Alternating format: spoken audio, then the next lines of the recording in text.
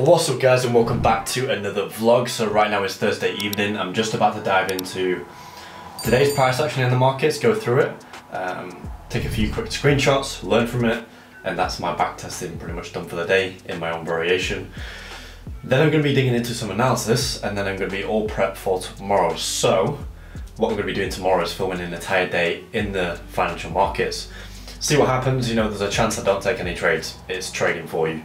But there's a chance that something may happen and there's a chance to take the trade and there's a chance that you will see the management, you'll see what I'm thinking at the time of the trade, what I'm thinking during, during the trade. Um, and just, I think it's good from an outside perspective to actually see that, to see that in the moment thought process. So always a big fan of that. So without further ado, I'm going to dig, dig into some prep now. It's getting a bit later on, it's 10 to 7 in the UK.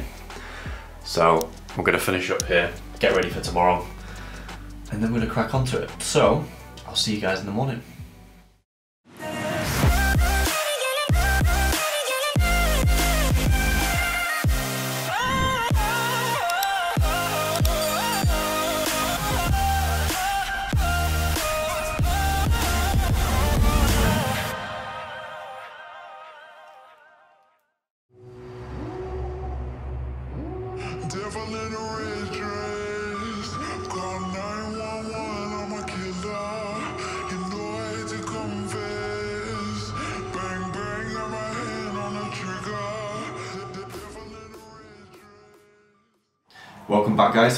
Friday morning, it's about to go 9am. Um, we have NFP today at 12.30, so, and I've just got into a trade, so I'm currently in Eurodollar short, I've just been showing it on the clip before. So I'm currently in Eurodollar short, it's starting to commit to itself a little bit to the downside. I'm close to taking a partial profit because what I usually do with management on trades is once price gets to 3 to 1 risk reward, then I'll just partial out of a little bit of the volume, so 20% usually. Um, and that's just to really lock in the profits, that's really just to pay myself. I, I believe personally it's a good habit to get into. The amount of times where price will, you know, get to the 3 to 1, 4 to 1, 5 to 1 mark and then retrace and then if you take a break even or a small loss because of that then um, I personally wouldn't take a loss if it was running 5% or 3% but some people may do that so I just think it's just a good habit based on my journey so far to pay yourself it's a good psychological win almost just to keep reiterating the fact that um, you know you just paid yourself and you're just on the right direction so I just think it's a good thing so I'm about to partial out of this if price continues to the downside. So it's currently two, three pips away from my partial profit zone. Um, and if we get to that, then I'll be closing 20% of the volume. So I'm just going to work that out now. Um, so yeah, usually what I'll do is I'll put the max amount of lots in that I'm trading on that trade, and I'll obviously divide by 20% um, of the volume to work out how many, how much volume I actually close in the trade. So in this case, everything's worked out and price is getting close. So I'll keep that there, ready to press close if that happens. But yeah, overall we have NFP at half 12. So you obviously will get a lot of volume in NFP or there's a chance of getting a lot of volume, a lot of speculation. It's been a big news announcement week this week. We've had a lot coming out in the markets. Um, so it's just one of those weeks.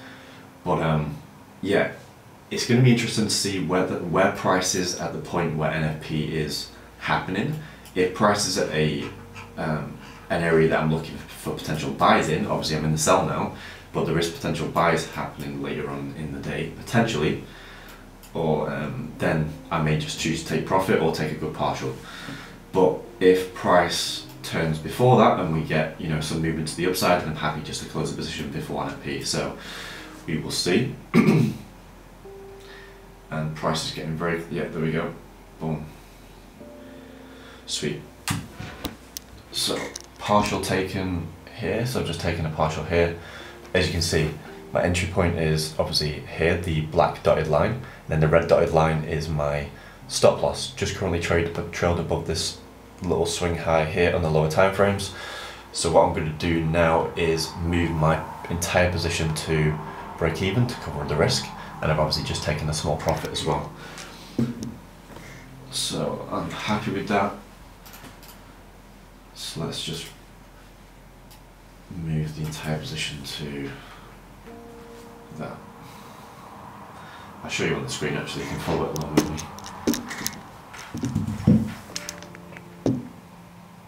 So just watch that change in a minute. There we go. So risk is now removed from the position and we'll see how everything plays out. But I'll give you an update as this trade goes on, and um, if I do take any more trades, I'll let you know. But being cautious coming up to NFP because I don't usually like taking trades around NFP, but obviously it's still the morning. I'm still fine for time, um, and we're just going to manage this trade accordingly. So, yeah, I will uh, speak to you guys soon.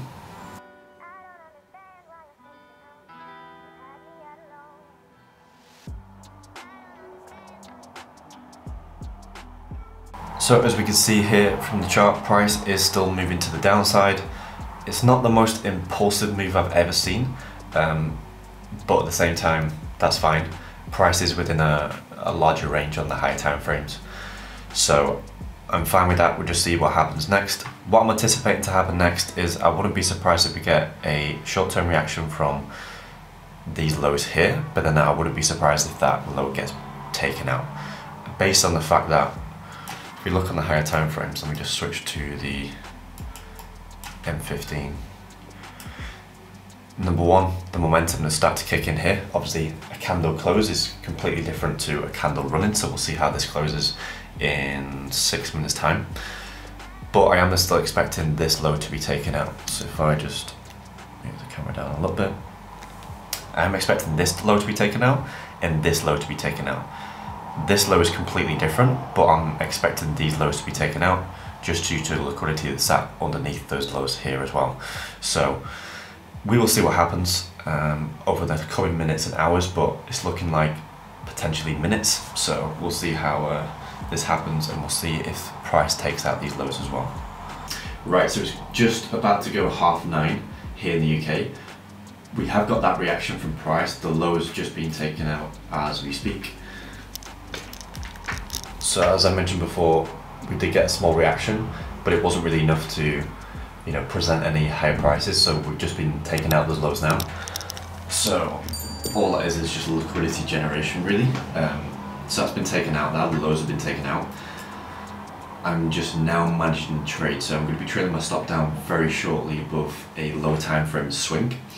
But yeah, I just wanted to mention something quickly because obviously before I mentioned I was I was anticipating the lows to be taken out, and they have been they have been taken out now, which is which is obviously good. But it's very easy to get into that mindset where you think that the market has to do something, and I think this is a dangerous territory. I think do I believe it's possible to um, get to a certain skill level where you can see and read the market? Of course, of course. But I think even when you get to that level, and even as I'm leveling up over time, it's very important to remain consistent with that mindset of probabilities and trusting your edge and not getting too caught up in the fact that okay yeah for example these lows have to be taken out or i'm expecting these lows to be taken out. Anticipating is a different thing. Expecting something to be taken out and it, let's say it doesn't get taken out you're, you're then disappointed. You're so emotionally invested in every single movement of price every single trade and i think from a scalability mindset, that's a very mentally draining mindset to be in. Whereas if you have a system that works, whatever style you trade, this is the good thing about trading. I don't believe there's one way that you can trade the market. There obviously isn't one way you can trade the markets, but one best way to trade the markets. I think there's different ways that you can capitalize on things, and I think there's different ways that work certain certain systems, certain edges that work better than others. Yes, but there's so many different ways to trade. So whatever your system is, as long as you have an edge, once you have that backed by data, once you're confident in that system, and once you can execute that consistently, you just literally take the trades. I think that's the best thing. I think that when I start putting expectations on myself or the market, that's when the performance starts to decrease. Whereas when I just let things flow, don't have any expectations on myself, just let things completely flow, be natural, and when I don't set expectations on the market and I don't get too invested in each individual trade, just let the sequence of trades play out, that's when I perform my best and that's when I just flow and that's when I feel where I can just just be super comfortable with the outcome, whether, whether it's a win, loss, break even, it doesn't really matter because you're just disconnected from that emotional outcome. So just wanted to mention that um, because I used to be in that mindset. Well, I didn't didn't start off in that mindset, and I felt like it crept in a little bit from yeah, just a few bad habits, and I've obviously gone the other way now and got out of that. But yeah, I'm just gonna trail my stop down so you can watch me do it as we do it. Live management, here we go. So what I'm gonna do, basically, if price if price was to retrace and break above this high here, I wouldn't want to be in the trade anymore. So what I'm to be doing is I'm just to be trailing my stop down for that, above that high, locking in profit, and keeping an eye on price movements around the area that price is currently in now. So give me two minutes whilst I do that, and and then we'll continue with the talk. One five four eight two. Boom. Sorted. Simple. No emotional attachment. Stick to your system, stick to your plan, and uh, let the edge play out all the time. So that's the main thing I wanted to say. Um, you just can't be too emotionally attached to each individual trade. You've got to let the sequence play out. It's a casino. We're in a casino. The market is a casino. There's bigger players, there's smaller players. We're essentially the smaller players. Um, the bigger players, you're probably never going to hear about them, or they're behind closed doors, and you know, especially the bigger banks, the bigger central banks, and you know, they own a lot of the market, so you can't um, you can't think you can compete with them on their level because they're moving price. We can anticipate price and we can follow the direct direction and you know just whatever your edge is, just play your system. If it works, play your system, but don't become so emotionally attached to individual trades. I think it's a very very dangerous game if you get into that. Um, and I think it's just a, such an emotional rollercoaster ride of emotions and you know euphoria, disappointment, overconfidence, underconfidence it's, it's just dangerous. So remain level headed, remain and trade with logic, and just literally trade your system and let it play out. I think that's the best thing. Um, and over five years' experience, I can tell you that that is the best way to trade based on what I've learned so far. Um, and it's very obvious to some people, but it's very easy for people to get sucked into bad habits and think they know better than the markets or think they can outperform the markets or just something along those lines of that mindset. And I think that's just ego in the markets. Um, and you can't afford to be egotistical because the market will humble you very quickly. If you're egotistical or you're overconfident in the markets, the market will humble you very quickly. Um, which is a good thing because you can't, you shouldn't be overconfident anyway. You shouldn't be egotistical in markets anyway. You should just trade what you see and not what you think. So, I'm gonna keep you updated. Price is starting to retrace a little bit. Whether this takes out the high or not, it remains to be seen. But if it does, I'll be out the trade for a small profit. Yeah, just just below three three R. So a little bit of a small uh, a small win, but regardless, it's a win, and um, we'll see what happens. If price continues to the downside, then I'll continue updating you as well. The devil in a red dress. Call 911, I'm a killer. You know I had to confess. Bang, bang, on my head, bang, on my head, bang, on my Right, I just wanted to talk you through the management of this trade because I'm just about to close a position out. So, yeah, you can watch me do actually over the next couple of minutes. So, prices in that area of interest. So I was looking for these lows to be taken out. These lows were taken out. Prices in the area that I'm looking at now. I'm going to close it out now. Boom. So prices, I've closed it out now. So perfect. And prices in the area that I was looking at as a potential buying scenario. Obviously, price can still blast through this, but this is an area where we could see potential higher prices or at least a much deeper pullback. So rather than holding through that, I'd, I'm happy to bank my profit, move on to the next trade. And NFP is in a couple of hours anyway, so I'm happy to be out of the trade now. Um, so that is my management on this trade, taking profit now on all the position, um, and I'm happy with the trade. So it was quick. I'm not risking a full one percent. I'm currently on zero point three percent risk. So, but it's a five hour trade. So just over a five hour trade. So I'm happy with that. and um, it's a perfect end to the week and we'll move on to the next trade. Right, it's currently half 12, we've got NFP and it's just come out now so we're just getting a bit of reaction. So I'm just going to show you on the charts right now. As you can see we are getting a drop in price which is why I wanted to obviously be patient around NFP because you can get some volatility. Um, and to be honest, I wouldn't still be in the trade. You can see price drop and you can look back in hindsight and you'd be like, well, you know what, I could have stayed in that trade, but you can't really be in that mindset. You just got to execute your plan and stick to it. Um, if price have pushed higher from that price and I'd give back, you know, three, four percent of the market or five percent of the market, I w- I wouldn't have wanted to do that. So price is dropping quite aggressively now, but I'd still do the same thing at time and time and time again. So happy with my performance today.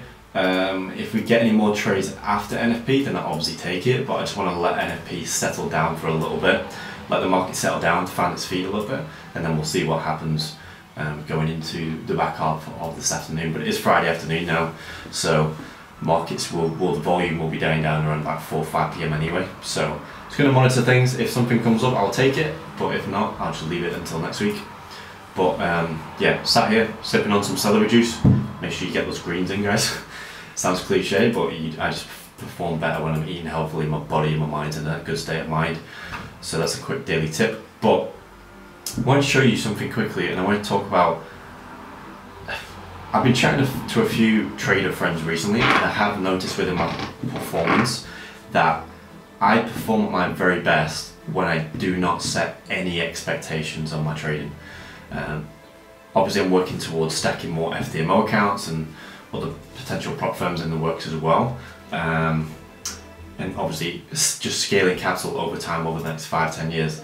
But I find when I set expectations on, okay, I'd like to do the FTMO by this this date or this date, or just setting date expectations or setting a certain benchmark for myself almost, I just find I just don't perform at my best. Um, when I do perform my best is when I'm just completely relaxed. When it's when I've got alerts set in certain areas, I know exactly what I'm looking at, and I'll crack on with other work in, in the meantime as well. Let's say I've got something for YouTube or something for a different project or whatever it may be, and I know what I'm looking at in the markets, I've just left the markets. I'm like, cool, when price gets to here, I'm going to look for a potential, or I'm going to observe price, see what price is doing in that area, and then look for potential buys or sells.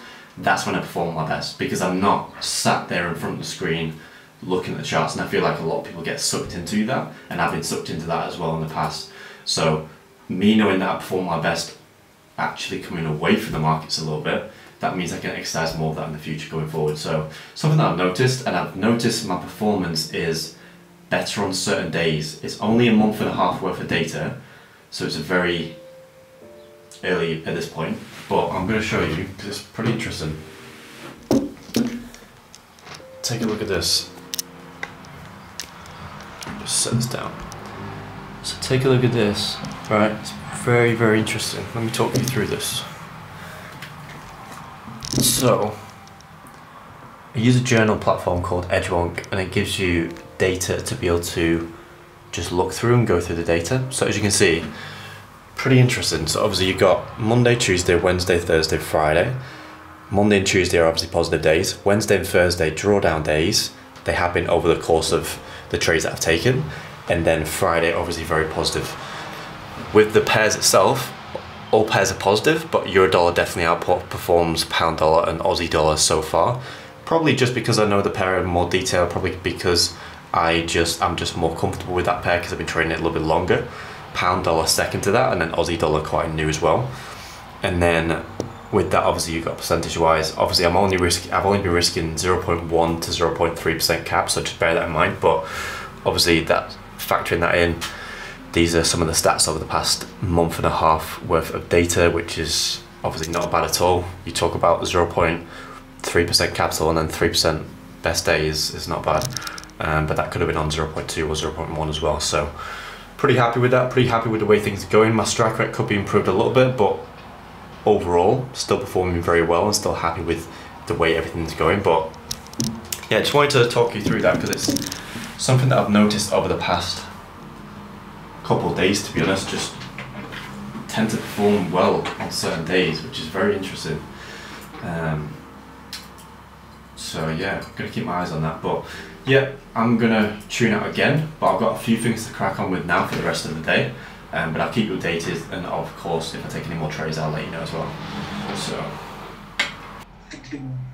nine months, ten months of solid graft to figure out this is how I'm training now. Is I'm almost at the point of unconscious competence where I can look at the charts and know exactly how I'm taking it, where they entered, where they managed, and like, yeah, I can confidently say I've taken a loss on that trade, but the the higher time frame idea is the same.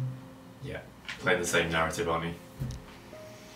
So it's like, yeah, I can, I can kind of, I can kind of ironically laugh at what happened yesterday because I'm like, okay, it is what it is. I'm, I'm still getting forfeit.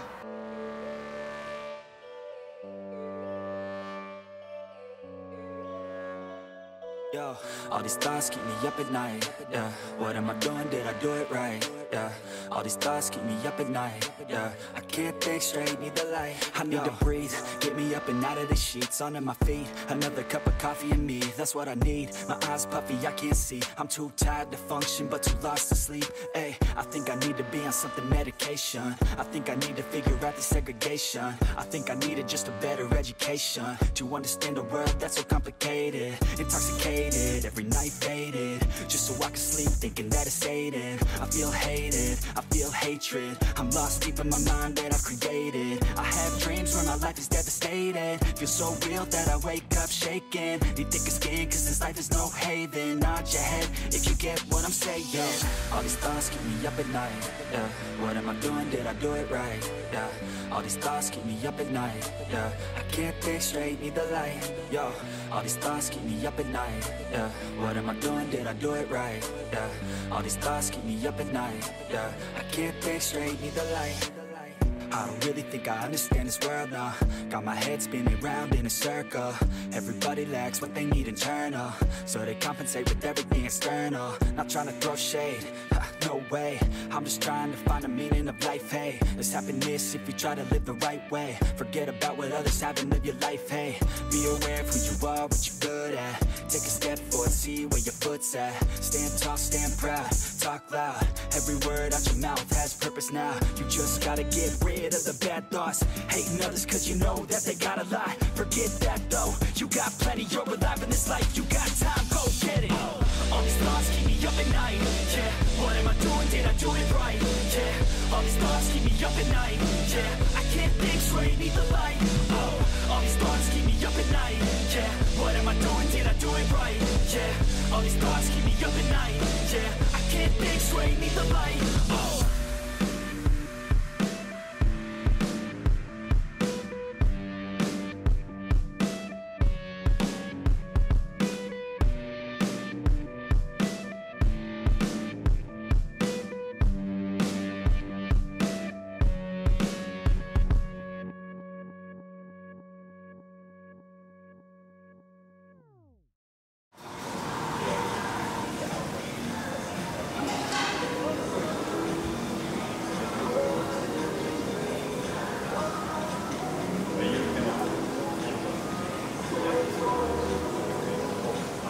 Hella shameless, necklace on me decorated. All this got me feeling jaded. Hold up, hold up, I'll be waiting. Bad thing on my radar.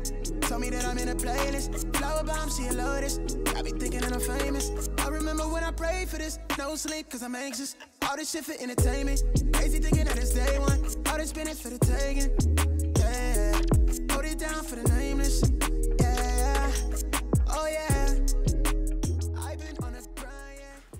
It is 10 to 7 in the UK, and I finished up with the day, so done with price action right now. Um, so just had some food, crap on with other things. Uh, I did take one more trade by the way, so I took Aussie dollar for a sell, which resulted in a loss. So happy with that trade. So for the to- total daily performance, obviously had the one win, which is euro dollar, and then had the one loss, which was Aussie dollar as well. Happy with both trades. Part of the process, part of the plan on to the next trade going into next week. So, so it goes. Not all trades are going to be winners. Not all trades are going to be losses. It's just part of the process. If you have an edge and you trust your plan, stick to it, the edge will play out. Um, it's literally as simple as that. So don't overcomplicate things. Just take the trades, let the sequence of trades play out, and um, just improve your skill set over time and your psychology. So yeah, anyways, I'm gonna finish up with today. What I'm gonna do right now, what I usually do, because it is Friday evening, is I'll go back through today's price action. It's something that I do every day of the week. So I'll do Monday to Friday. I'll go back through that day of price action on the three pairs if I've taken a trade on that pair, or if there's something to learn. So if I've missed a trade, let's say I've taken a trade on euro dollar, I'll go back and I'll map out what I was seeing at the time, you know, why I took the trade in the first place, um, and just, you know, just get in that mindset of why I took it and was everything correct? Uh, is there anything I can improve on? And that's my daily sort of back testing almost. Um, it's just a variation of it because um, I don't do it in bulk anymore. I do it in sort of that way, so I'm live testing it as I go along with the day, and it just helps me learn. And then, say for example, I miss a trade on Aussie dollar, then I'll go back through Aussie dollar and I'll be like, okay, why did I miss that trade? Was there anything to learn here?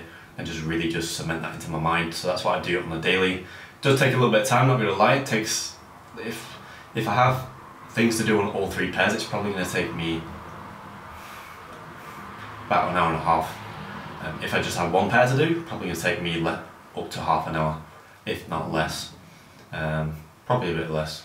So it's just that daily commitment, show up every single day, do the work, and yeah, things will happen over time. So yeah. So I'm probably going to do that tomorrow though, I'm not going to do that tonight because I want to crack on with other things. So usually I do that either Friday evening or Saturday morning. So this weekend I'm going to do it tomorrow morning. Um, and I'm going to do some analysis tonight for next week. There's just kind of just the first stage of prep. So what I usually do with that is I'll just go through, once again, exact same process of what I did two, three years ago, really, just a slightly different style and just, but still integrating the same, same fundamental things high time frames to low time frames, start in the higher time frames, map out what you're looking for, map out where price is, what is the nature of price, um, you know, do that on the, on the monthly, weekly, daily, four hour, one hour, down to the low time frames, map out everything I'm looking for, and just build a narrative going into next week. So that's the plan of action for tonight, so that I'm mentally prepared for the rest of the weekend, and then I'll just repeat that process um, a little bit on Saturday, and then more so on Sunday before I get into the market on Monday morning. So just helps me prepare fully. Um, and yeah, I'm probably just going to crack on with other things tonight apart from trading. And that's going to be the plan of action. And then uh, it's bonfire night here in the UK. So going to go out for a little bit of fun with someone close to me and we're just going to go to see some fireworks. So that should be good. A little bit different as well. So I'm going to go there at 9pm and then probably get back about 11, half 11. So good way to switch things up for the weekend. But hope you enjoyed the video. Once again, it's been a full day of trading. Um, well, it's very difficult. I won't say it's very difficult, but it can be challenging sometimes filming as you're going along, as you're taking trades, as you're managing trades, because you're obviously in a trade, and I'm like, okay, yeah, but I've got to film as well, and I've got to manage the trade, and it's just they come they conflict sometimes, but it is what it is. Get on with it. Um, but yeah, hopefully you enjoyed the video, and I will see you all in the next one, which will be coming soon. So, speak to you all soon. Have a good weekend. Have a good week ahead in the markets and let's get it. Speak to you soon.